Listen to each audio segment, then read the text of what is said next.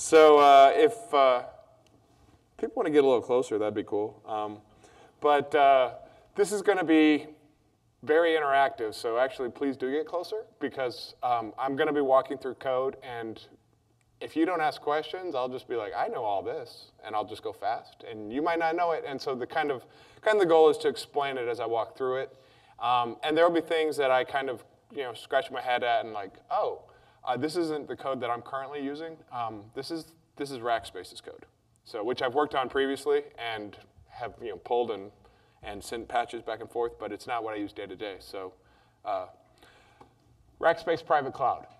Uh, currently, uh, this branch is uh, for the Folsom release. It's tagged as version 3.0.1. So if you go to uh, rackspace.com cloud private, you can download an installer that will go and install, uh, it'll install OpenStack on like 20 nodes, something like that. this code is being worked on by about 10 developers. Um, it's good stuff. Uh, it has a, an open source Chef server uh, embedded inside it, uh, and they're just kind of treating it like a JRE where uh, it does exactly what they need. The repo there, GitHub uh, RCB Ops, that's the team that's working on this stuff. So that's a bunch of their operational uh, cookbooks, um, some of the other things that we're not going to really cover today. but it's all up on GitHub. Rackspace has been really great about sharing the work that they're doing so you can follow along and make sure that you know, if, if you don't want to use the, the product to deliver it, you can take the cookbooks and merge them. Uh, we have a whole community uh, around Chef and OpenStack.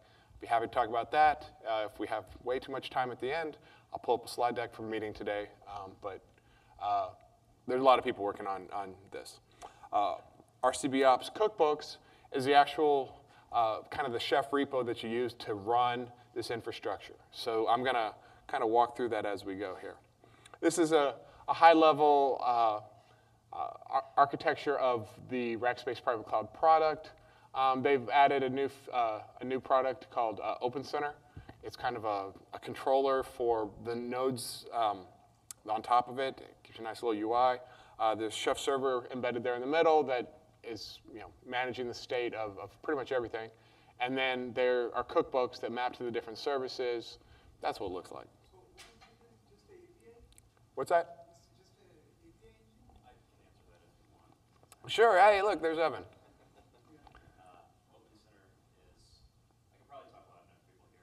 Yeah, but then they won't get you on the recording. Oh, there we go. uh, Open Center is not just an API. It's um, several pieces altogether that comprises the product. So it has an API, um, which is uh, basically a state machine with a REST interface attached to it. And then there's also the CLI tools, and there's the uh, GUI, the dashboard, and it's uh, agent-based, as I believe is illustrated there on the, on the slide. And then there is a component called the solver that tries to determine how to get from uh, the current state you're in to the uh, desired state that you want to go to and to figure out what needs to happen to get there. So that's how you interact with it. Yes. Uh, it is it is the infrastructure level. It is not even up to platform level. So basically, you're starting from uh, blank nodes that uh, you want to actually uh, put whatever operating system you're going to deploy onto on and go from that point forward. So then it will be using Chef through the orchestration layer to actually uh, put on whatever roles you want on right. those machines. And, and your bare metal provisioner would be Razor. Right, exactly.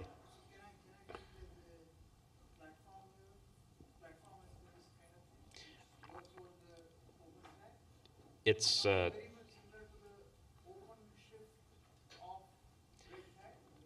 no, it's it's much lower than a PaaS. Yeah, it's it's below PaaS. Yeah, this would this is. Yes. Yeah. Cool. Uh, so if you're following along in your Git browser, or in your Git browser, in your web browser on GitHub, uh, you can go right here. Um, I've already cloned this locally. Uh, we're going to be walking through the roles, the environments, and the cookbooks. So uh, everyone got that? GitHub.com, RCB Ops, Chef Cookbooks. Uh, that's where the magic happens. And here comes the magic. So this is all the cookbooks that are currently uh, Git submoduled in there. Uh, there are quite a few. Um, some you might say, well, why do I need these uh, for an OpenStack deployment? Such things as uh, the AWS cookbook. uh, most of the, the cookbooks uh, that are in here are supporting, or, or, the ones that are, you know, like why is that there, are supporting uh, dependencies for some of the other cookbooks.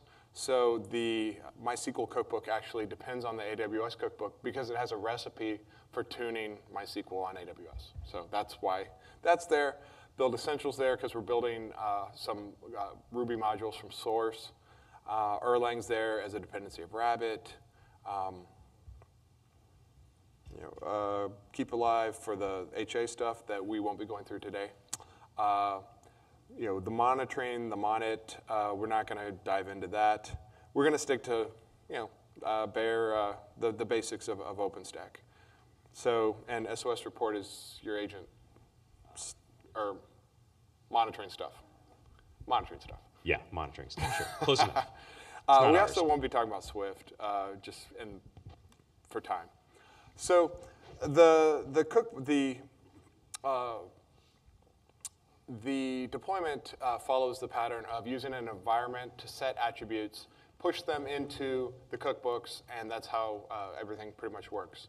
Uh, the environments, um, so the roles actually don't have very many uh, attributes. We're, we're, putting the things that uh, we care about in the environment level.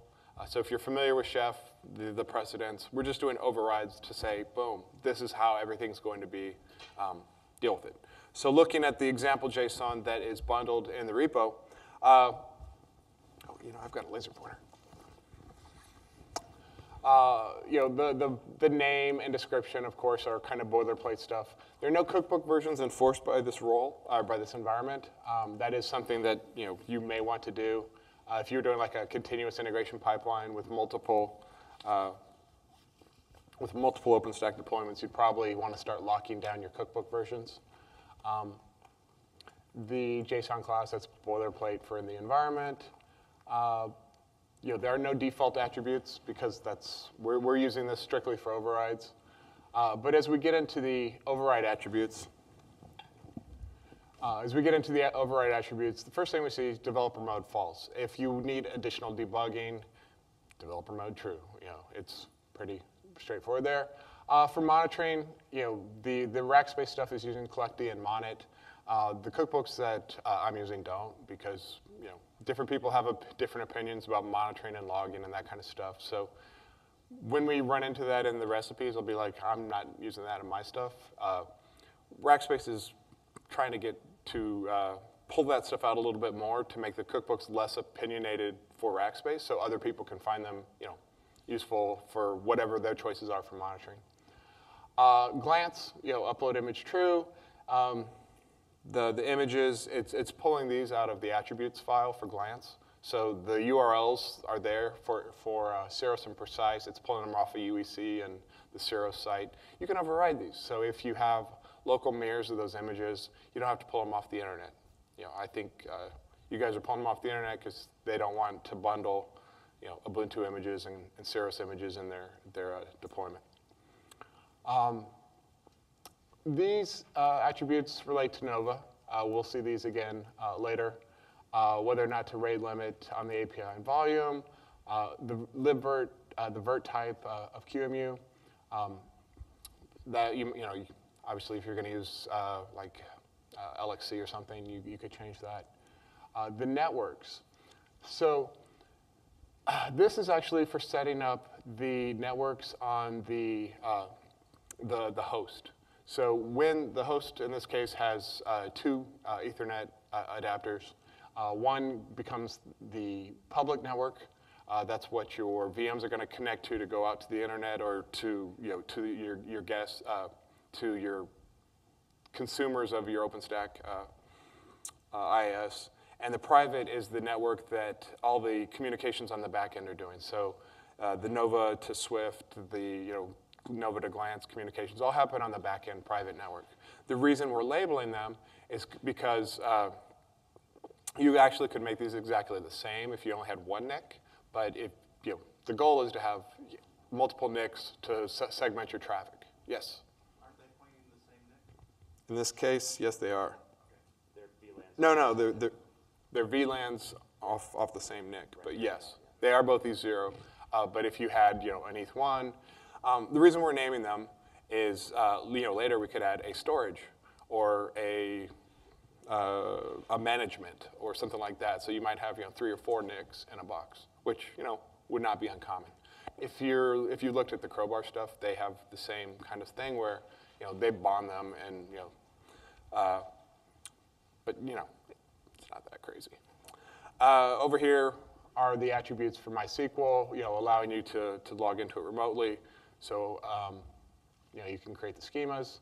Um, OSOPS network. So these are, these mapping back to the same ones here. 192.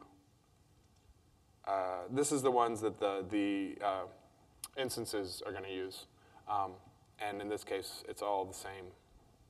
And then package component, Folsom. So we're going to be using the Folsom packages. So there are a boatload of roles uh, in this, in this uh, uh, Chef repo.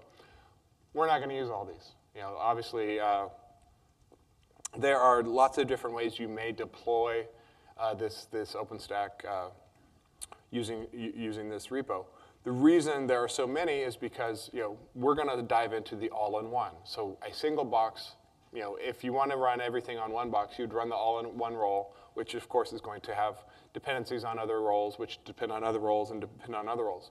As you break apart that hierarchy, you can map those to separate machines. So things like uh, glance, you know, the glance role, well, it actually, that maps into glance API, glance registry, and glance setup. You could have those on separate machines. So each one of these can map out to multiple machines.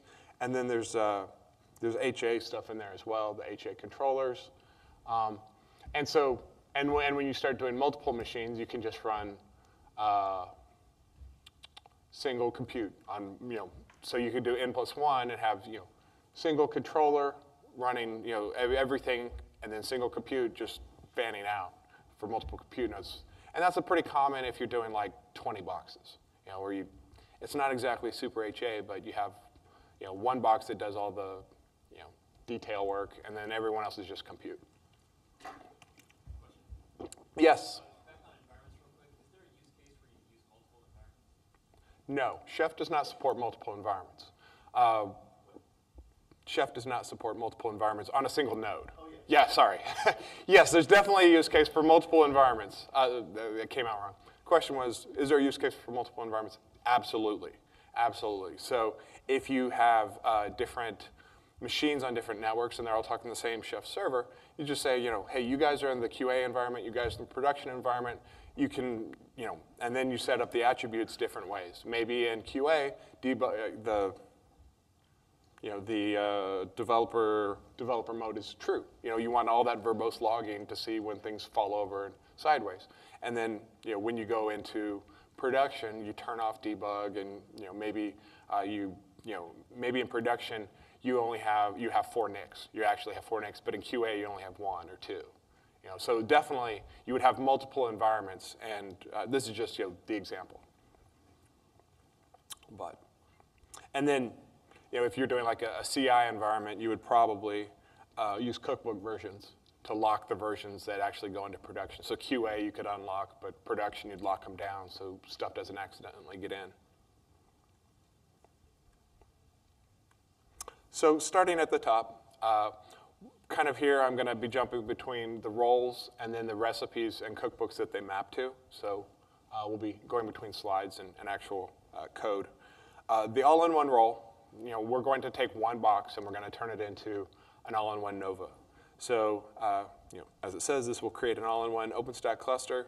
Uh, all-in-one just calls single controller and single compute. The roles are pretty smart.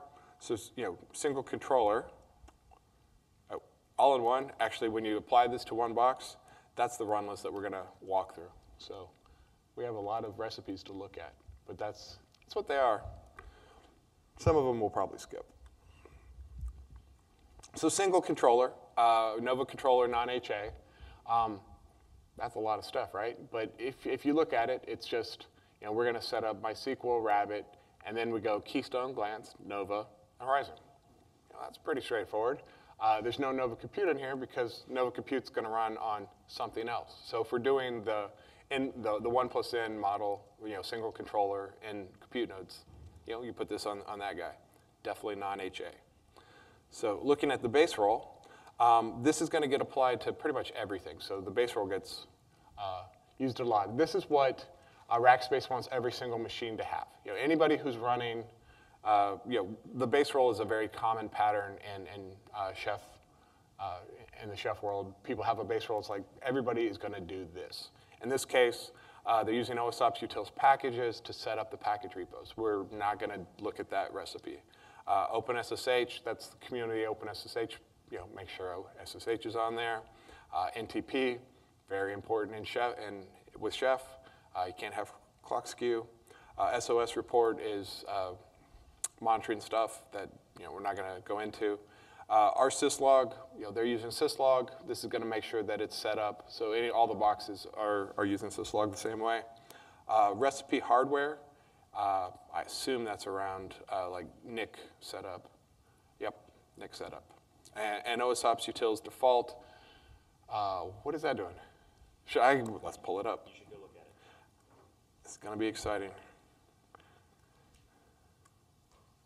So the OSOPS utils, this is uh, a utility library that Rackspace wrote uh, with, uh, well, back when Vish was working there, uh, with, uh, Dell and uh, DreamHost.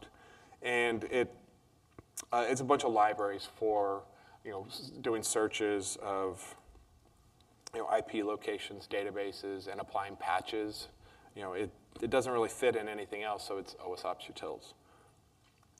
But the recipe, uh, what was the recipe there? Packages, okay, default. Let's see what default looks like.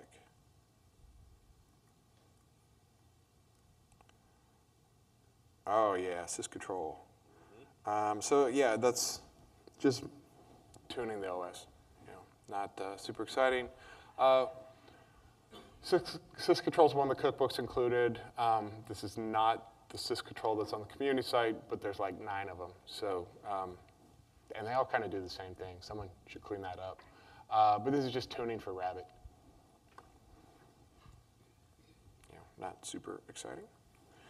Uh, but that's the base role. Um, throws in some, some NTP servers, uh, just so everybody behaves the same way. So, yes. I'm, I'm new to Chef, so Oh, okay. the difference between a recipe and a role, and how do I find what recipes are? Okay, uh, so uh, back up real quick. The difference between a recipe and a role. Um, in, in Chef, uh, a cookbook is how you deliver a piece of functionality, like a particular application or a service. So if we go back to our list of cookbooks, each one of these kinds of maps to something you're going to configure, right? Um, and inside of the cookbook is the recipe. The recipe is the actual, the Ruby code that, you know, it has the, the resources that you're going to set up, you know, going to calculate things. So as we just looked at that, uh, the syscontrol settings, that's what, that was a recipe. There may be multiple recipes inside a cookbook. So when we look at our run list, uh, OSOPS utils packages, we saw that, OpenSSH. These are just the recipes that are getting called. You know, the colon colon is specifying which one of the recipes within that particular cookbook we're going to call. Okay? Um, if there's not a colon colon, it's default. Yeah. Uh, so a role a role is a way of saying this is a particular class of machines. You know, this is something that anybody who has this is going to do these things. Roles may include other roles, um, but they have a run list. You know, a run list that says these are the things that it means to be a base. You know, if you apply this on a machine, well, sorry, I've got single controller up there. Um, you know, this is the things that you get with a base. And a role has uh, uh, a run list, and then it has attributes, default or overrides. Yes? So translate this to Puppet. um, I can't. Uh, somebody know puppet can answer that. I really, I'm not a puppet guy, surprisingly. Um, but uh, that sounds right. Modules? Modules or cookbooks? Manifest or cookbooks? Okay. Uh, and then is there, they have some concept of roles?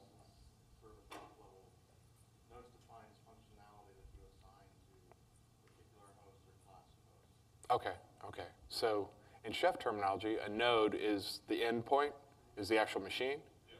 And then, you know, that machine has a run list. And that run list may be uh, re- recipes or roles, you know, or a mix of them. So, you know, in this case, we see, you know, these are just roles in our run list. And this one, the, the run list is actually recipes. You can mix them, right? And then role is the class of the machines. Uh, and then uh, above roles are environments. So you say, you know, a machine can have multiple roles. It can have multiple, you know, recipes. It has a single run list in a single environment. Any other questions? I mean, sorry, I, I guess I assumed uh, a little more uh, familiarity with what we're doing. Um, but that's the base role. You know, table stakes for being a node in uh, Rackspace Private Cloud. Uh, so the first role in the single controller, or uh, the first one we're going to look at here, is MySQL Master. This is just installing MySQL, setting up replication if you're using two nodes. Um, see, it calls the base role again. That's not a problem. It, uh, with, with Chef, when it creates that run list, it deduplicates them. So the first time it sees it, that's the, the first time it gets called. And it's okay to have it get called multiple times in the run list. So base is in everything, just because you may have a MySQL box. When you start federating this out to multiple machines, maybe in a larger deployment, you might have a box that he does all the MySQL for you. You know, that's the only thing that machine does. You still need that base role. So you can say, hey, that's the MySQL master. Uh, and he's going to call MySQL OpenStack server. So let's take a quick glance over at that.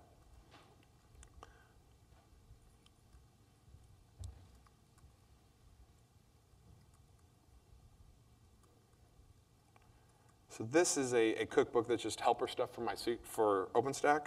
It wraps the MySQL cookbook. So it's going to pull things in some of those libraries that we saw in OSOPS utils. Uh, it's going to include monitoring, and it's going to set up uh, the MySQL Ruby cookbook. That just installs the, the MySQL gem, so, you, so Chef can make straight uh, MySQL calls. Um, these methods get bind endpoints. Uh, that's coming out of OSOPS utils. So what this is doing uh, is just setting up MySQL to listen on, uh, you know, where, where to, to listen, and then it just, you know, tunes it. Oh, look at that. I am first MySQL master. Um, and then, you know, it's setting up replication. Uh, connection info, you know, pulling, you know, the bind IP that we got, the username, the password, which you can pass it in, or up here at the top, it actually just uh, generates one if you don't have one. Uh, and then it saves it on the node, so later on, you know, all your machines get their own passwords.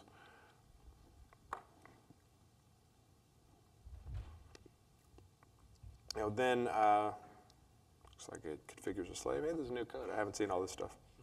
Um, and then we're see we, uh, you know, officially. So up here, it's it's setting. Uh, sorry, that went off the screen. You know, connect to the master because we're the slave, and then we're going to set an attribute. Why is this? Uh, identifying us as a second master. Um, you know, then, you know, oh, if we were the first master, we've connected back to the second master yet. So it actually waits to make sure that stuff's. First master is setting an attribute that is then being searched for. Yes. The next one. Yes. Yeah. And so uh, that's, if you're new to Chef, that's a very common pattern is to use attributes to say, hey, I'm doing this particular, I provide this certain thing, and then people who are looking for that will just search for you. You know, and then if they, in this case, they'll just search for someone else who is MySQL master, and then when they get that node back, they'll look for the, the ID.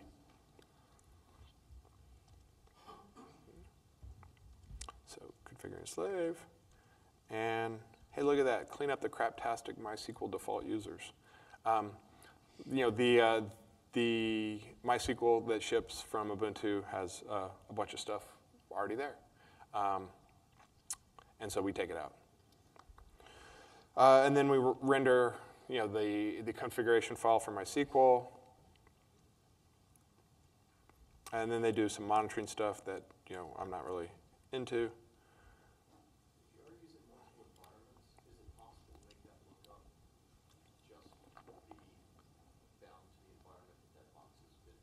Yes, yes. So in your searches, you say and chef environment equals, and then you say node environment. So you search for everyone who's in my environment only.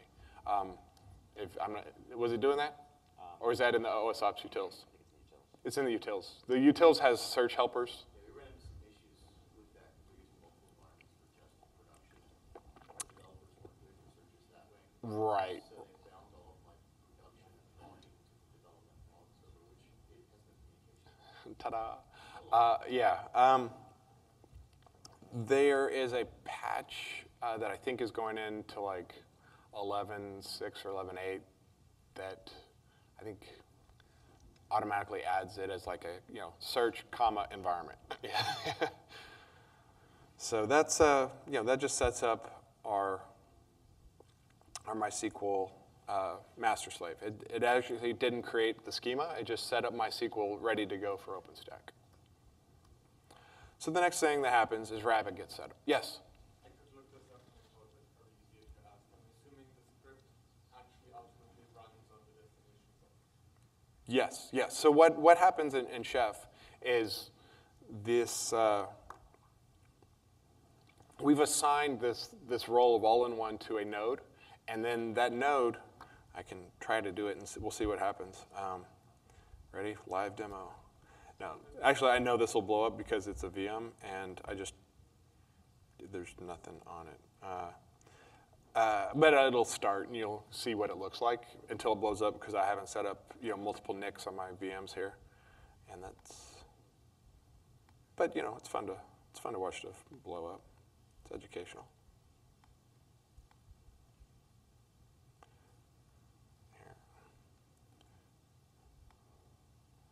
Let me go clean install. Don't save.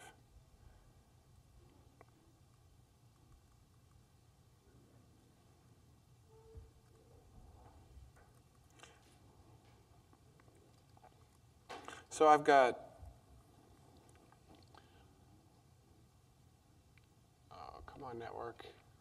Thinking it over. Thinking it over. Wow, that was a fast change of directory.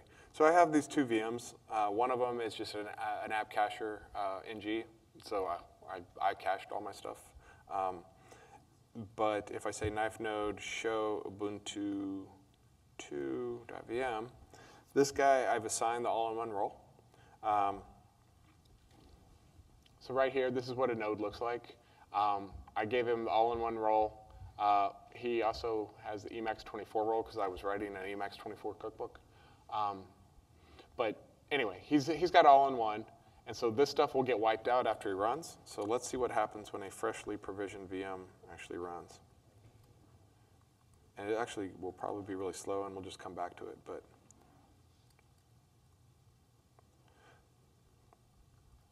so when you're on the box, you just say Chef Client, and that's going to connect to the server and says, "Hey, I'm Ubuntu 2 1204 VM. What am I supposed to do?" And it says, "Oh, hi there. Here's the run list that you have. You know, uh, we're going to synchronize our cookbooks. We're going to download all the ones that we need uh, to to actually do this run list. So it's going to go through that. I'm going to switch off this, but right now it's going to be it's downloading from uh, hosted Chef. But you know you could have your own open source Chef server or private Chef or whatever, um, and it's slowly slowly going to do all that stuff. So yeah, that's and, and it'll get to the MySQL master uh, part of the run list. Uh, RabbitMQ server. Uh, this is going to call uh, the base role yet again. It's going to call the default Erlang recipe. This installs Erlang. You know, not super exciting. We don't need to look at that. Uh, but it, you know, I think it's pulling it off of, uh, you know, the latest version of Erlang or the distro one if that's what you choose. Um, and then it's going to call Rabbit OpenStack server. This is just like the MySQL uh, OpenStack. Um, this is just kind of helper stuff. See, it's still going.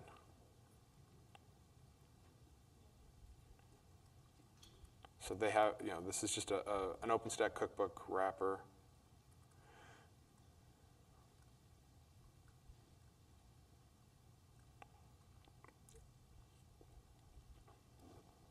So here we're generating a password, uh, you know, that Rabbit's going to use.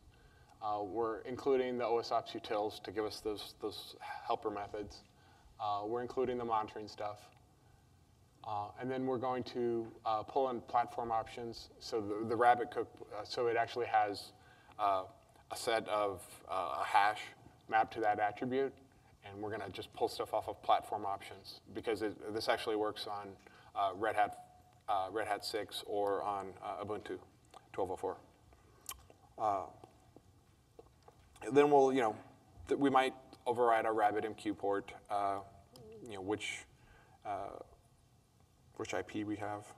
Need to listen on all IPs so we can use a floating VIP. Then there's some notes for uh, their developers.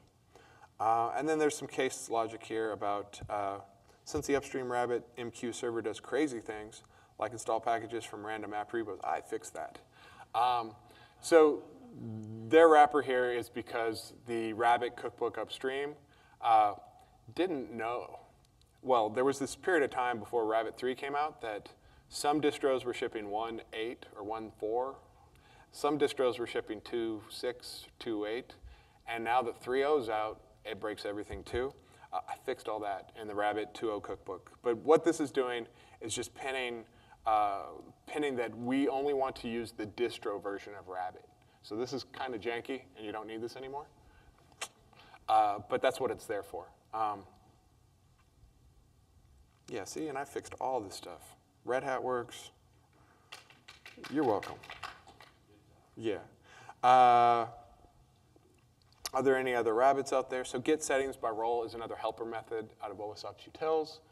Um, and we're looking for uh, you know, other rabbit, rabbits if we're doing clustering. And then this is just uh, going to include the default rabbit recipe and go ahead and install it right there. Yes, right? Yep. Uh, and then it's going to restart the service. Holy, I fixed this too. uh, so Rabbit has some weird, uh, uh, it doesn't have a good initd um, setup. Uh, Why are you not committing downstream? I don't go down, I go up. Yeah. Uh, I think I even told you guys I fixed it. I posted to the mailing list uh, that Rabbit 2.0 came out. Yeah, it fixes all this janky stuff. Yeah, but at least here there you see um, RabbitMQ user. So uh, in Chef, uh, there are resources that are bundled with Chef. So resources like service, you know, manages services. It's part of Chef. It's built into Chef. Um, there's some other resources in here. Uh, blah, blah, blah. Wow, we're using a lot of custom ones here. Um, but if you are getting a particular resource, if you need to write new ones that are not provided by Chef, uh, we call those lightweight resource providers. You can bundle them inside a cookbook to add new functionality. So here we see apt. The apt cookbook is uh, giving you the ability to set preferences for how apt behaves. It's not part of Chef, but if you need to use apt, the apt cookbook can give you new functionality. As we see here, the Rabbit cookbook uh, will do users for you. You know, you don't have to go and type, you know, Rabbit control user add blah blah blah. You just use the LWRPs that handle that. Um, and so their monitoring cookbook is providing, you know, a Procmon resource, a metric resource. Uh, and that's just, you know, for those of y'all who aren't familiar with it, that's where this, and then you, uh, you the underscore signifies it's coming out of the Rabbit cookbook. Uh, and so the Rabbit cookbook does users, uh, queues, um, I can't think of vhost, and there's pull requests for like everything else that you might do. And there's test, and it works with three and two, and you know. And uh, yeah, and then they do their keep alive VIP setup stuff for Rabbit. So you probably don't care about that if you're running on a single box. So that's Rabbit now is set up. We've got MySQL, we've got Rabbit. Now we're getting into OpenStack itself. So you know this is kind of table stakes for uh, our OpenStack install. We're going to use Keystone. You know? uh, there we see the base role again, uh, and we have. Oh, I left out the, the Keystone API role. I bet I can tell you what it does. Um, Keystone Server is going to go and, and set up the basics. So let's look at Keystone. Oh, look at that, it blew up. So here was here's my my my node running. Uh, let me make that bigger. All right, so here was our, our long our long run list that we're slowly making our way through. Yes, we're all the way on the third line. Over here, Keystone. Um, but then it synchronized all the cookbooks and compiled them, and then it threw a warning about uh, some constant being reused, but it's just a warning, so who cares?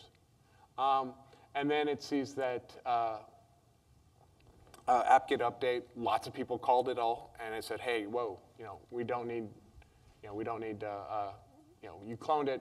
We're only going to call it once up front, um, and that's kind of the behavior you want." Uh, and then it's, it went off to the races here. Uh, executed apt-get update. Uh, then it called build essential. Um, build essential was in the uh, MySQL, uh, the Ruby, when it needed to be able to build Ruby gems. So it installed the build essentials, which is your, you know, Ruby, it's your build tool chain. Um, you know, and so it installed all this junk, which is good junk. Uh, and then we saw it installed the MySQL client. That's what uh, MySQL Ruby uh, also installs. And then the, the My, you know, MySQL dev, and then it blew up because all the OSOps util stuff was like, hey, you don't have any networks, you don't have any real networks um, that map to all this stuff. So, and at the end, oh, look at that, new version control plane. Um, uh, at, at the end, even though it blows up, when the chef client runs, uh, on success or failure, it gets caught, and there's a, uh, a report handler or an exception handler. Basically, that gives you the full context of the run, and you can then take it and send it somewhere. So, you know, in this case, I don't have any exception handlers, uh, but I could have like, hey, I need to email this. If a chef client run fails anywhere, email, you know, ServiceNow or whatever, or send a trap or PagerDuty or whatever. Um, you know, that's handy to have. There are about 40 uh, exception report handlers on, on the community site, IRC, HipChat, Twitter, or whatever. So, uh, you know, syslog. Do you use the syslog report handler? You should, because you already have syslog. uh, there's, there's also a really nice one for Splunk uh, and Logstash too. Um, oh yes, Keystone Server.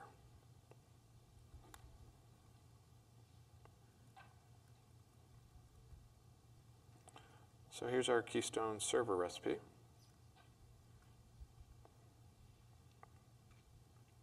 Generating yet another password. Uh, so it's going to set up syslog for Keystone. I don't need to go into that. Uh, it calls MySQL client, uh, MySQL Ruby, which were previously called. Um, so those don't get run again. Uh, OSOps utils doesn't get run again. Monitoring doesn't get run again, but that's, that's cool. Um, and here they've got some debugging stuff for uh, if we're in developer mode, it you know, sets a, a known password because uh, you know, I'm sure these guys debug this stuff a lot. There we pull the platform options hash out so we can call things, uh, you know, rather than say, you know, node, keystone, platform, you know, Red Hat, on and on and on. They you know, pull down just the hash. Uh, so they're going to call create DB and user. This is another helper method out of OSOps utils that goes and creates whatever we've set up as attributes for Keystone uh, with our name or username and password. So, you know, uh, and then go and get the access endpoint uh, for MySQL. So we can do all this. So then I bet MySQL. Oh, they install MySQL packages again. I got some refactoring here I'd like to do someday. Because everyone calls Keystone stuff. Uh, and I really hate that Keystone sleep thing. Um, Keystone behaves kind of wonky, so they give it a, a 10 second sleep to give it time to start up. Because it's like, I'm ready for business, and it's not. It's lying. Um, so that's what's going on there. But here we installed the Keystone service, pretty basic stuff. Uh, we're enabling it, which doesn't, isn't the same thing as start. You know, we're just saying, hey, put it in in initd, put it at the right run levels. Uh, it supports status and restart. Um, and then it notifies that, that sleep. So it's saying, hey, we're enabled, you know, if, uh, if anybody restarts Keystone, you still have to sleep. You know, so anytime that Keystone gets run, it calls the sleep, which slows things down. Um, then we set up some more monitoring stuff, create the Etsy Keystone, you're hard coding your Keystone users. Uh, then they call, uh, you know, Keystone Manage DB Sync. Here they're using these get access endpoints, uh, just that helper method again. The logic down in the OSOPS utils will actually look and see if you have a managed uh, private network or a management network. Um, so that traffic stays off the public interface. So it's, you know, rather than clutter up the recipe, you have helper methods to, to hide that away. Uh, what is this package component stuff? Oh, I guess if you were using something besides Folsom. And then they have this massive amount of stuff that goes into the Keystone conf. Um, you know, all these variables get passed in. Uh, some of them, like these node calls, could come within the template. You can call the node directly. Uh, this just makes it easier to see all the stuff that is going into the template in one place. And it's a lot of stuff, but Keystone has a lot of settings. And some of them are more, some of them are worse than others, like the NovaConf. Is this by default an install Folsom? Yes. Yeah. Uh, if you need Essex cookbooks, uh, my, I, so uh, we're going, we're, they're in, they're almost done with Grizzly. Uh, there are Grizzly branches and forks of, lots of people have Grizzly like already working or close to working. HubSpot, who gave the keynote the other day, they're using Grizzly on bare metal. Um, and so uh, there are, we had a session today to talk about, you know, kind of catching everybody up with each other, and we'll be coming together back on Grizzly, you know, uh, probably in about a, a month or so. Uh, but notice here at the end of this template, you know, so this is a big template. Um, so template is just pulling in the, it's writing out your Keystone conf off of uh, this ERB file, which is just a Ruby templating language. Um, and then anytime this file changes, you know, it will regenerate it, but it's going to send notifications to resync the DB and uh, restart the Keystone. So remember, Keystone just enabled. It just said, hey, set it up, don't start it. It waits for the, for the, the templates to get rendered. And so anytime you might make a Keystone change, Keystone gets restarted, and then, of course, the Keystone service then sleeps for 10 seconds. If you make a change to your environment attributes that are feeding into this, it's gonna restart Keystone Yes. and sleep, and nothing will work for a little while. Yes. Well, yes. so, you know, You you gotta wrap the change control and how does your number change? Yeah, yeah. I mean, you manage that uh, as you would expect. And make sure you have a report or exception handler that sends a diff that captures all the changes and sends them somewhere so someone notices, oh, we accidentally did all these changes. It's a nice thing to have. Uh, then they are deleting one of the files that gets bundled in with Keystone. Um, this is the uh, uh, the flat file for SQLite. You know, they're not using it; they're using MySQL. Um, there are cookbooks that are using Postgres if you're into Postgres, uh, and and probably soon it'll support both. Um, writing out their their Keystone logging conf which again restarts Keystone. Uh, and what, do you mean to have all the immediatelys in here for restarting them? Because if you don't put the immediatelys, it'll cascade and restart Keystone at the end. Actually, you, you do though. Yeah, anytime you touch Keystone, you have to restart it in case someone needs Keystone. Yeah, well, yeah, everyone loves Keystone. Keystone Light forever. Yeah. Uh, then they're going to go and create tenants for Keystone. Um, so the, the, the Keystone tenants are set. Oh, this is going to be fun. So let's look at the attributes file for Keystone. Oh, yeah. Well, no, it's not. This is all the things that you might possibly set on Keystone. You know, page after page of stuff. But I was looking for tenants. Okay, so admin and service. Yeah, it should be from a user's hash keys or something. I mean, there's a lot of things that you might do, and then, you know, depending on which OS you're using, you might have different settings. Packages have different names, but you abstract it all out into your attributes file so it doesn't clutter up your recipe uh, with a whole bunch of, you know, if Ubuntu do this, if Red Hat do that. Uh, yeah, so they're using, uh, there's, in, in Chef, there's platform and there's platform family. So uh, platform is more specific to the OS, so, you know, Fedora. Re- Yeah, yeah, so they could call it platform family of RHEL, and then that would also give you uh, scientific and unbreakable, or whatever they call their LSB tag, because you guys really want to run on on on, on uh, Oracle's Red Hat. All that's true, and that would, in theory, make those just go. There's some more uh, details involved in uh, those, in between those platforms. Yeah, yeah. Right. I mean, it, that's why we have both. We have platform family for when it's really the same. I mean, platform family at Debian includes Ubuntu, you know, and Mint and, you know, lots of other stuff. But when it's not the same, then you say, you know, case platform, and you can pick the ones you actually want. And things like Fedora, you know, Fedora 12 is not the same as 18, you know, so then you might actually have to go into like OS version. Yeah, but it's nice to try to pull up as much of it into the same commonality as you can. And you guys probably, you know, haven't seen a lot of Mint uh, installs of OpenStack. Um, so it's going to have this for loop, you know, a nice each do tenant name, and just create those keystone tenants. Here's uh, Keystone Tenant is another lightweight resource provider. It has a tenant helper, you know, that just goes and, and automatically creates these for you. You know, it has a whole lot of uh, attributes you can set, but it's a Keystone tenant. There's a lot of things you might have there. Uh, same with Keystone roles. You know, there's another loop over all the roles that are provided, and then all the Keystone users. And there's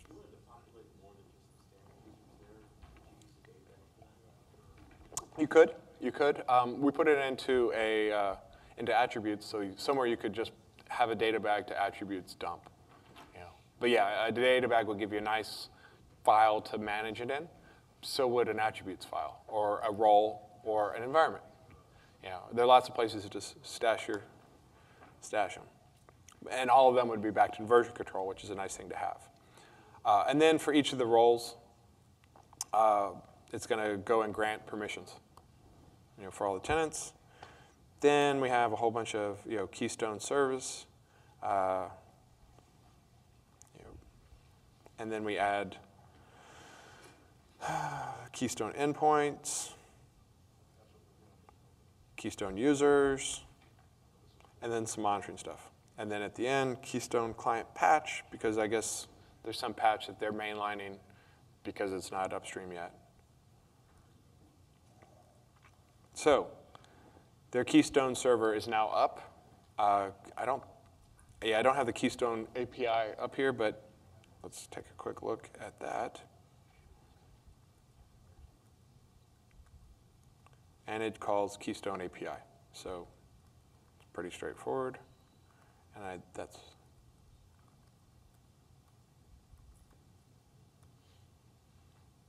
oh, Keystone, Keystone API.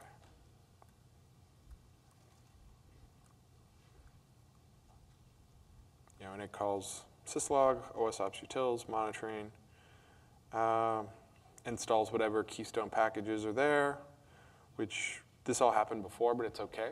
Uh, It's okay to have duplication. I mean, it's not, it's not dry, but it could probably cleaned up some. This is all previously coded. Am I looking at the right? I guess this is if you put your Keystone API in a separate box. Um, That's why a lot of it is repeated the way that it is. It could be done a little better, but it's for uh, more flexibility when pushing a particular role into a particular. Yeah, yeah. So that's why they're separate. The, the Keystone includes Keystone API in case you had them on separate boxes, in case you didn't hear that. So Keystone, now set up, fully populated, uh, and we're good to go. So now Glance setup is followed by Glance registry and Glance API. Probably, and each one of those, they call the base role again. So if your Glance machines were spread across, you know, uh, two machines, three, machi- three machines, um, uh, it would all have that. So let's take a look into uh, the fun world of Glance. And if you have any questions, please speak up because, you know, I'm just talking to my laptop here. Yes? Uh, when like tenants and roles and everything, Yes. are those created every time you redeploy, or how does that work? Uh, when you say redeploy, Converge. anytime you converge, no, no. So that uh, uh, when you write a, a, an LWRP, um, you need to be uh, idempotent. So they need to be safe to, to be run multiple times. So I would assume in the, the Keystone uh, LWRPs, it actually checks to see if that user is already there before trying to create them again. Um, and if it is, it's a no-op and it doesn't notify anything. And so if it doesn't restart Keystone each time, you know, if, if so after you run Keystone through once, all those guys are there. If nothing changes, it goes really fast because it no ops, no ops, no ops, no ops, no ops, and it's done. And so, you know, the first time we run this on, when I run this on like bare metal, I've got some, you know, 16 gig machines with SSDs.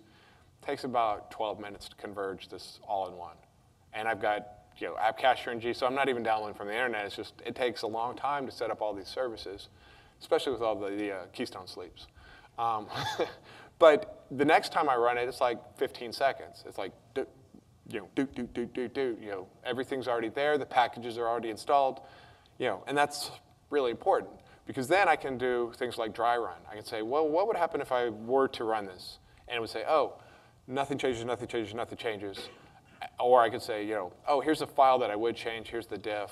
And that's, you know. So- yeah, yeah, and so you can you can run dry run mode. Oh yeah, and then that makes it like you, it's safe to run the Chef client anytime because it's not going to make any changes. So s- some folks will run Chef client as a daemon, and every 30 minutes it converges, or you know, or whatever you like. Uh, a lot of people do it daily, um, you know, or you can just run it manually.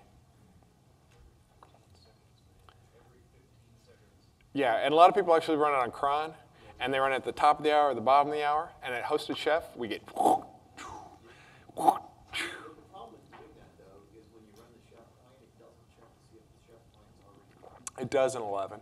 Okay. Yeah, so uh, Before and it writes the chef. Chef 11 ha- has a lock, and it's smart enough not to. So yeah, that first time you call the Chef client, and it's taking 40 minutes to install OpenStack, uh, it's okay if you call it again because it has a lock now. Um, but I'm sure OpenStack was one of the reasons we have that lock. yeah, Java, anything Java. yeah. Uh, so what, I was looking at Glance.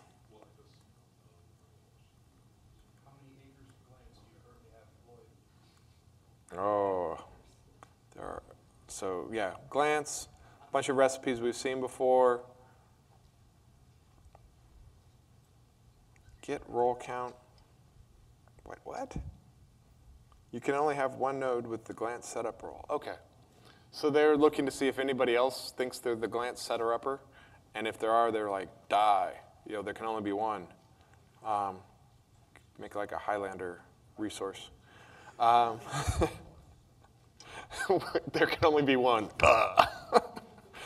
Uh, yeah, and then you know some some boilerplate for setting up uh, users.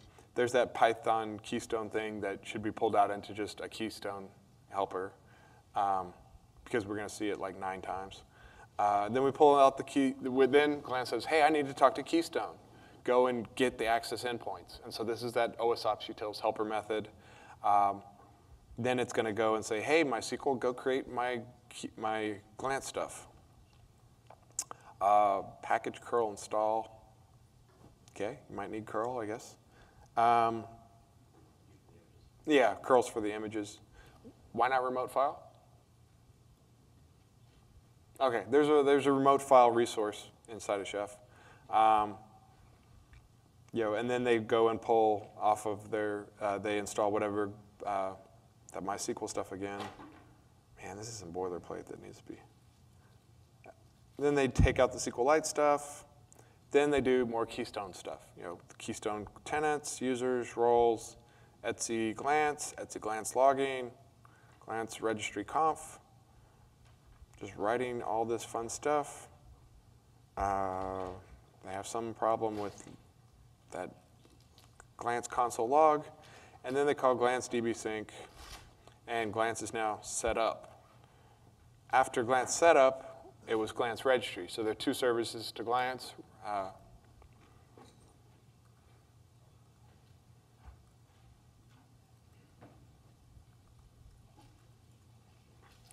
and a whole lot of duplication from the other guy, you know, of the MySQL, the, the syslog, the monitoring. Man, yeah, there, there's definitely some, uh, you know, code cleanup that could happen here. Um, but it's easy to throw stones, right? Uh, uh, yeah, it works. And everybody forks it. Um, yeah, and you know. Yep, here's a whole bunch of you know the same stuff we saw in the glance setup. The reason, of course, is these might run on different machines, and it's safe. It's okay to have duplication. Uh, but then they have the, the glance API uh, service that, you know, and yeah, so we don't, and then there's, you know, setting up the glance registry, paste INI file. So uh, we're not going to look at API unless people really want to. It's almost the same. Huh? So we now have Keystone. We now have Glance. This is awesome. We can, uh, you know, serve up images. So Nova setup. This is going to uh, configure a box to be ready for Nova. Yeah. Is this session over at 5:20? Okay. I mean, yeah, we can all kick off and go get some beers or something. But, um,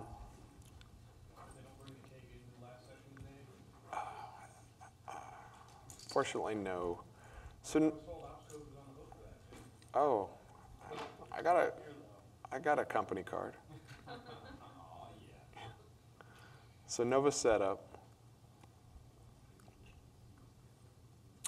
Uh, that boilerplate stuff. Uh, then we're going to go get our Keystone endpoints. Then we're going to create our Nova DB stuff. Uh, then we're going to sync the, the Nova uh, database schema. It's, and then they've got a Nova plugin uh, monitoring thing that they've added. So that's, you know, that's not standard OpenStack. So Nova Setup has created the schema for Nova. It's not super uh, exciting, but you know you have to have that stuff. Uh, Nova Network Controller uh, is going to set up Nova networking. This is the first step of, of setting up uh, your Nova box. Uh, we're not using Quantum here. Um, I know in the, the roles, uh, there's some Quantum stuff that they've started. I assume come Grizzly, uh, they'll be having OVS or, yeah, OVS. And then, you know, within the Chef community, there's, you know, uh, and Nicira and uh, some other stuff. Um,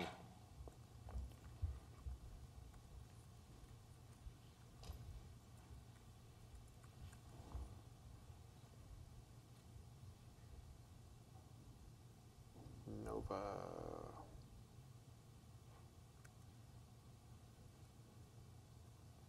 Where was that? Oh, Nova Network is a separate cookbook. Yeah, I was. Yeah, Nova Network is actually a separate cookbook.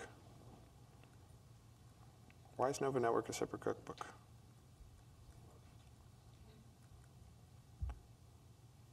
Oh, this is where they're doing their quantum stuff. Oh, and I, and sorry, I said quantum. Um, Nova Networks. OpenStack Networks. OpenStack Networks. Yeah, we'll have to rename all this fun stuff. So, Nova Network, Nova Network.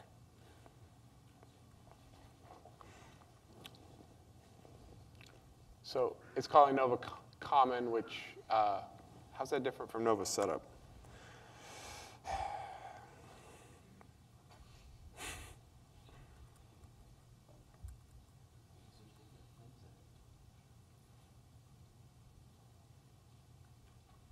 Oh boy. So Nova Common sets up uh, your Nova Conf. Oh, you guys have an LWRP for Nova Conf. Excellent. Are you using uh, partials? Awesome. So Chef 11 added the concept of partial template rendering. So multiple, multiple cookbooks can manage the same file. Uh, OpenStack is like the, the most abusive case of that, of course, because everyone is sticking into Nova Conf. So someday we'll have conf directories. That'll be awesome. Uh, but until then, we have a NovaConf uh, LWRP to handle that. So all they do is tag in the release, set up login for Nova, write out the OpenRC. So when you create Nova, uh, you can say, you know, hey, here are the credentials I want to use, or it'll go and uh, generate them for you. Um, oh, look, backwards compatibility for Nova RC. Uh, and then they go and uh, create a, a login for the Nova user. So that's what Nova Common did was, you know, set up that base stuff, and then they install the Nova Network packages, uh, install the Nova Network service. Well, they enable it, and then it says, hey, subscribe to the Nova conf file. If anybody changes that, restart the service. And you know, as you can probably guess, uh, since it says delayed, they're expecting lots of people to change NovaConf, and delayed means at the end of that, the Nova network network service will, will restart. Which is you know what you need to do. Usually, delayed is actually the default, uh, but uh, for Keystone, we needed Keystone up all the time. All every t- 10 second waits and all. Yeah. So uh, yes, delayed is the default, but they're being very explicit about the defaults, just so as a casual user, you may come in and not know that delayed is, you know, is there. Uh, same with like package install. Uh, install is the default. Some people write it. You don't even have to list it. It, it yeah. Yeah, it's easier to read and uh, easier to come back and change it if, if you need it to be something else. I'm not, I'm not hating, I'm explaining. uh, Nova Scheduler, you know, the next part of, of Nova, it's going to look a lot like what we just saw.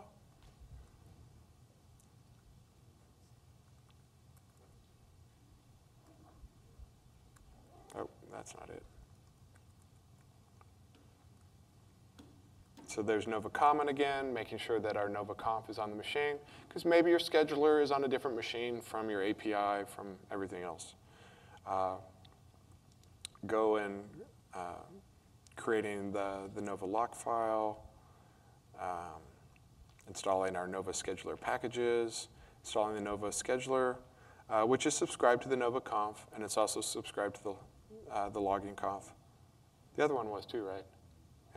I'm sure it was. And then, you know, monitoring stuff, uh, and then including a Nova scheduler patch, which I'm sure is just a backport of something.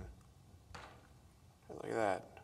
Affinity filters don't work if scheduler hints is none. So, you know, sometimes you have to pa- patch stuff. Yeah, don't look at the sausage. Let me walk you through the sausage. Um,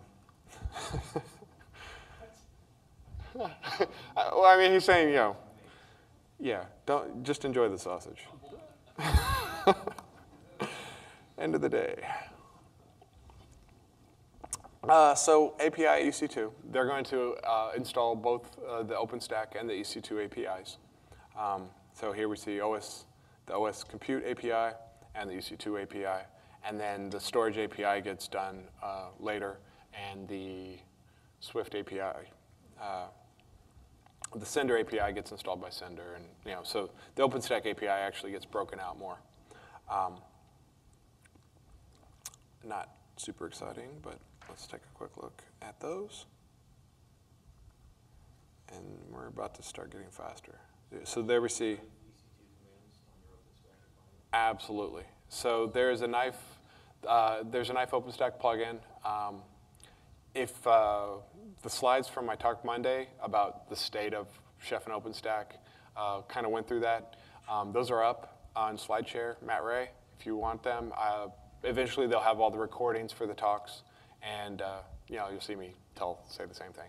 Um, but yeah, it works on Diablo and up, and it uses the OpenStack API, and it's been tested with like most of the OpenStack vendors who are here. So even if you don't set up, you know, OpenStack with Chef, you can still run your infrastructure on top of that OpenStack with Chef.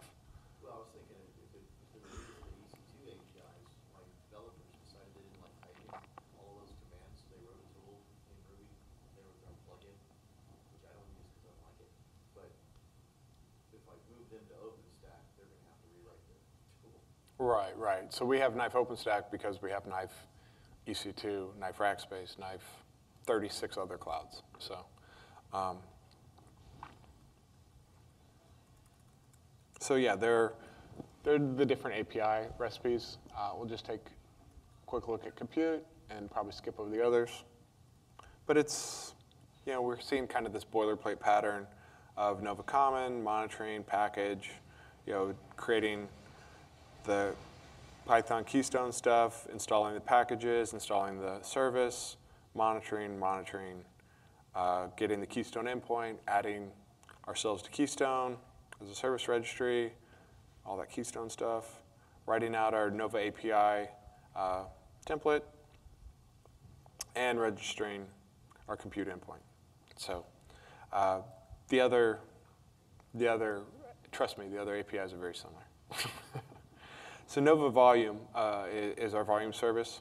Um, is this? Uh, That's the one that renamed the Cinder, right? Yeah, I, I bet if we get in there, I expect if we get in here, include recipe Nova release volume. So release volume, Folsom volume is now calling Cinder. So a little backwards compatibility. Uh, probably when I release my Grizzly stuff, I'll drop all this because I'm like, there's no, there's no going back. Uh, but these guys have to support multiple installations. So again, not a fun problem. But uh, so looking into the Cinder cookbook, recipes, Cinder, is that the first one? Cinder setup, API, and scheduler. Oh boy.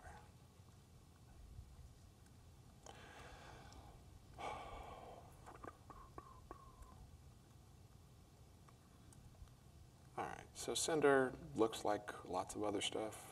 You know, syslog, debug, uh, MySQL, put ourselves into Keystone, uh, find the API, find the various Cinder endpoints, create our Cinder uh, stuff on the database. Uh, in this case, we have one MySQL and everyone uses the same one. You know, you could technically break this up if you wanted to, uh, but we don't. Um, I mean, you could have a MySQL tied to the service, but why? Um, you know, set up the uh, cost Cinder DB sync, logging, Cinder conf. You know, uh, there's NetApp support. Uh, I guess you guys are doing just just NetApp. Yeah, they're doing NetApp. Uh, there's also Cinder plugins for LVM. Uh, Cinder plugin for NetApp right to the, to, to the fiber, or is that tied into SysNet? what does the the Cinder NetApp plugin do?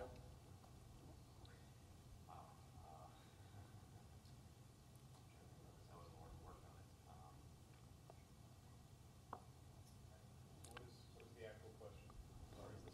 Would it, I mean, does it, does it talk to the SysNet side of the NetApp, or does it talk to the fiber side of the NetApp? Um,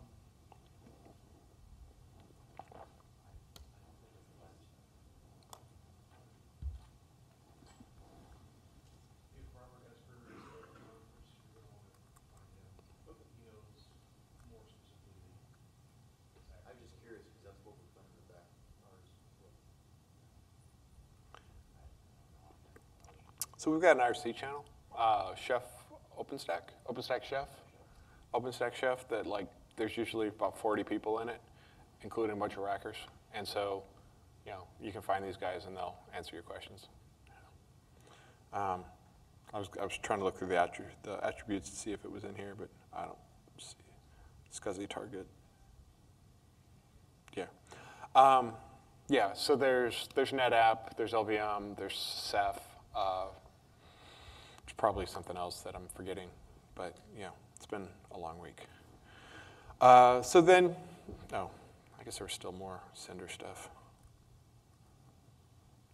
You know, Cinder sets up the API, registers itself with Keystone. And then it's going to do the Cinder API, the Cinder scheduler. You know, I mean, it's, you know, Keystone, Keystone. Oh, it actually uses Rabbit. Installs the Cinder API packages, writes out its logging, writes out its comp file, and its API paste ini. Deletes its SQLite file that gets packaged in the, the distro package, and then adds monitoring. Know, so it sets up the three Cinder services. And then Nova Volume. so Nova Cert is the uh, uh, Nova, Nova Certificate Service.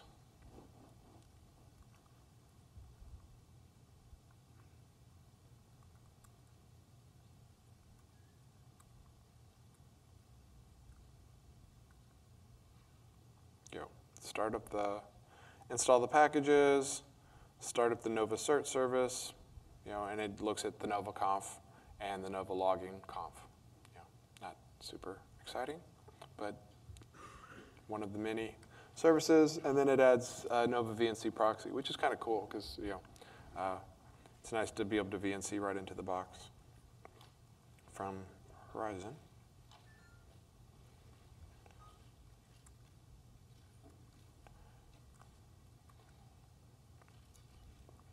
Goes and installs all the console auth stuff and the VNC packages, sets up the VNC proxy service, you know, and then adds monitoring for it. Uh, you know, the console auth service. And more, oh, so there's the VNC console auth service and the VNC, serv- VNC proxy service. And so it installs both of those. And so you now have uh, Nova running, Keystone, Glance, Nova, and Horizon. Horizon is a lot simpler. Uh, well, not a lot simpler, but it calls the base role, it calls MySQL client, it calls MySQL Ruby, and then it calls Horizon server. And the Horizon server recipe is probably going to do anyone, anyone? Uh, install Apache and Django and Uh, oh, and turn off SELinux.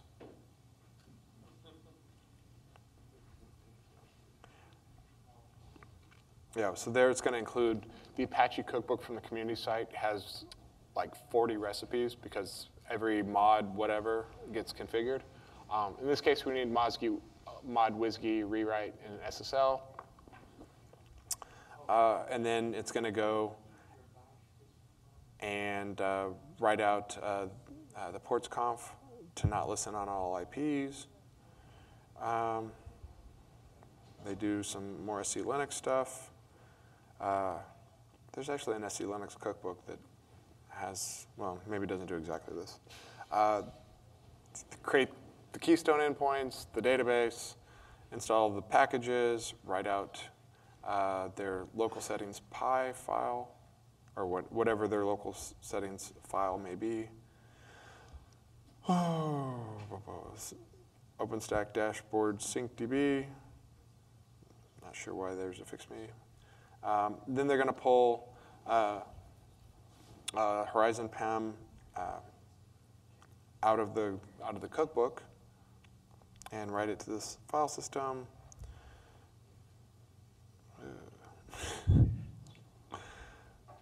I'm not a Django guy, so I don't know all the stuff that's going on here. Stop Apache complaining. Uh, and then write out the right uh, template for Keystone.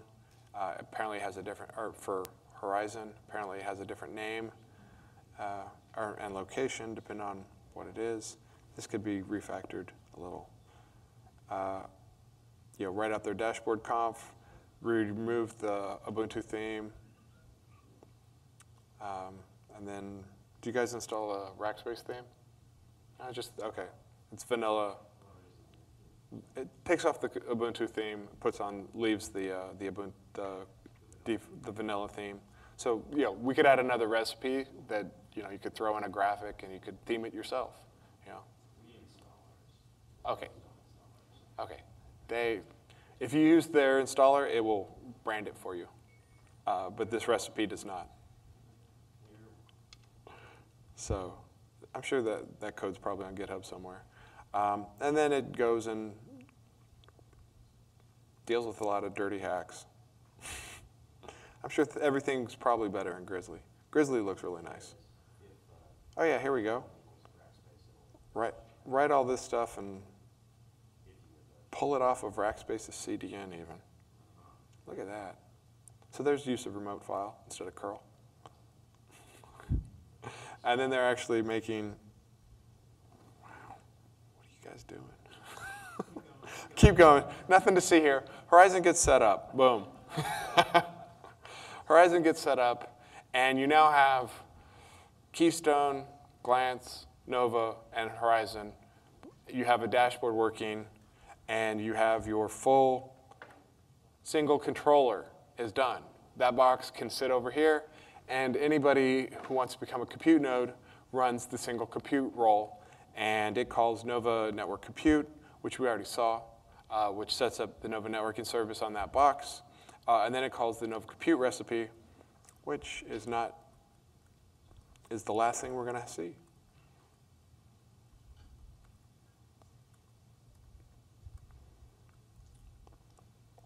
So it's going to go and install packages. Um,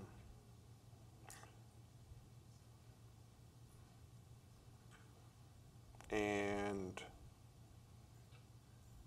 oh, if, if, you're, uh, if you set it to KVM, it adds an additional package. This could get refactored into attributes. Because uh, now with Chef 11, attributes can be evaluated inside the attributes file, which is nice to have. Um, install the, the packages, write out your Nova Compute Conf,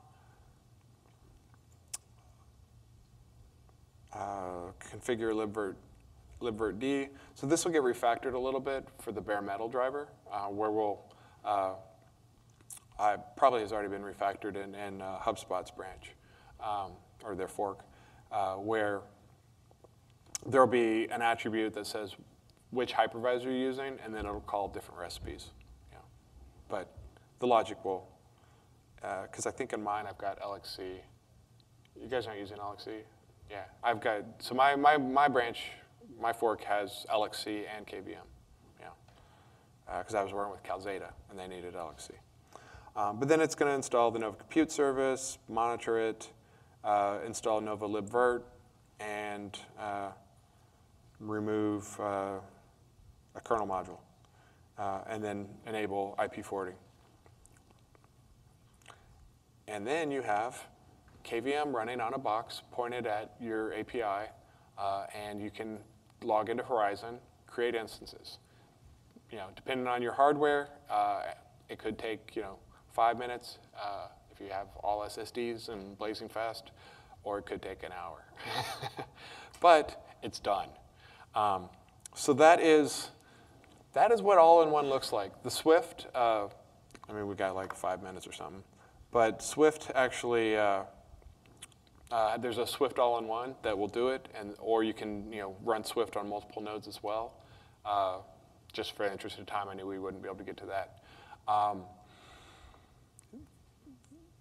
the uh, the various forks of, of uh, uh, cookbooks that are floating around. Um, we're going to try to reconsolidate, uh, and I'll submit a talk for the Havana conference, um, or the I conference in Hong Kong, about whether or not we actually got that to happen.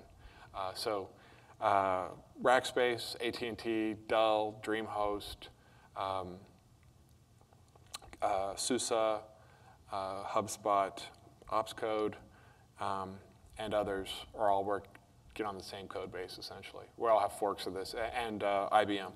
So, uh, any questions? Not directly related to this, but I'm, I'm given to understand that I can use VMware as a compute platform. Yes.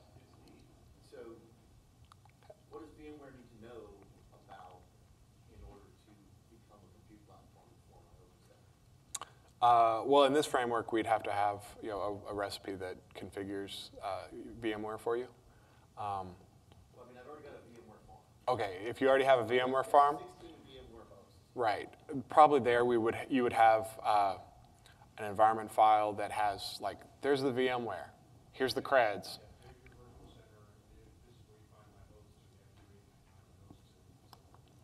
So essentially, the, the knife, um, vCenter plugin sort of kind of works. Okay. Um, I've, I've been issued on, on my environment.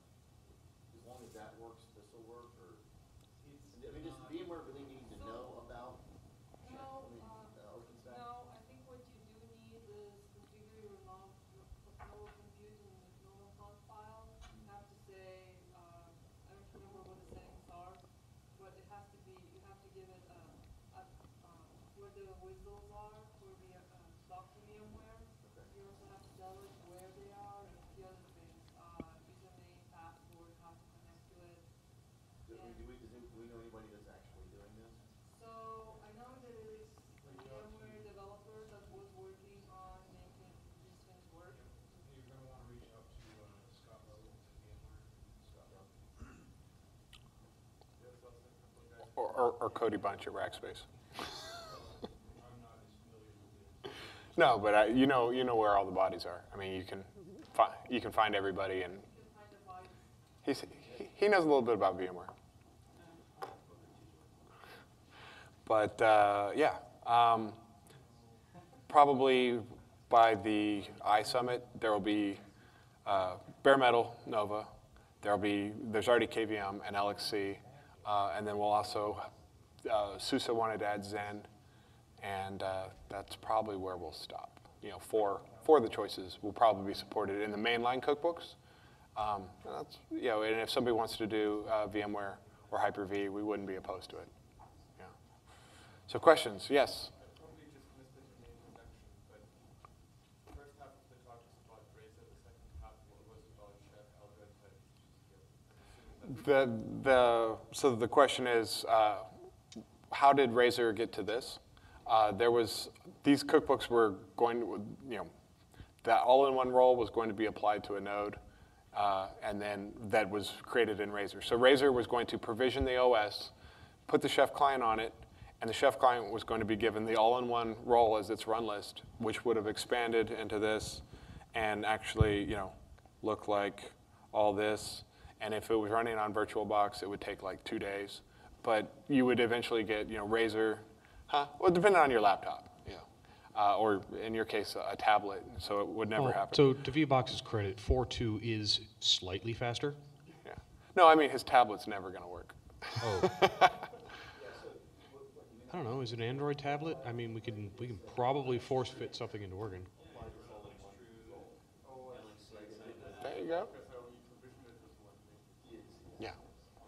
Uh, but but that was the the yeah I guess the, the missing step there was we were going to take the Razor node and apply this and you know while I talked for the last hour and a half it would have it would have finished. Uh, And you know, I figured with most people leaving the conference, it would have been better. I tried to, well, not, not significantly though. I've been trying to spin up a VM for the last five or six minutes here, and it's been trying to pull down the precise 64 box. And it's, uh, yeah, I'm still at like 2%. Mine actually came up. hey. About halfway through Matt's talk. Okay. Yeah. So Somebody it does needs to close work. their torrent client. And So don't Google my tablet, I actually came up about. Yeah, the I finally did one. Okay. Ah. So yes, it does work. it just Yeah, I've seen it work at least once. yeah. Another question more to the development of this. How do you It's a lot of layering here. I'm assuming that Yes. very easily They, be very they bad. blow up on the chef client run pretty spectacularly. Well, like, you know, this one blew up and gave us a nice stack trace and told us exactly in the recipe, hey, I blew up in, you know, cookbooks, OSOps utils, libraries, IP location, and I was called by MySQL OpenStack server recipe. Stack traces are pretty clear. with Yeah. I just need to get that email handler in so that when When your production stuff blows. Production Yeah. blows up, I know. So that's why you test it. What's that? That's why you test. Yeah, In production. yeah.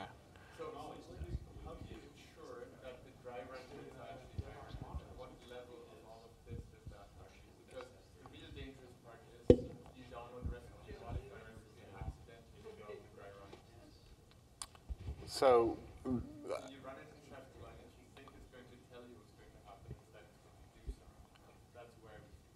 Okay, so, so the, the dry run inside of Chef Client, uh, if I say, you know, Chef Client dash W, it's actually called why-run. Uh, or, I mean, it's dash W. Uh, we call it why-run because it tells you the assumptions it's making as it goes.